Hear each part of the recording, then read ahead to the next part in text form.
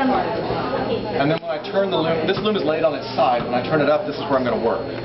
My, my fell's going to be here, my weaving's going to go wrap around this way, my warp's going to wrap around this way. It's a lot easier, I think, you know. Oh, yeah.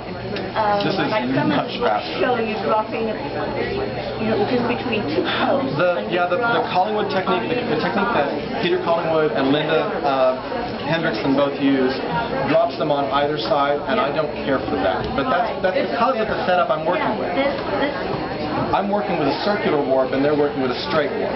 They're making a warp that goes from one end to the other. I'm working with a warp that rotates around the loop. that's how I, that's what I did. But it took Okay.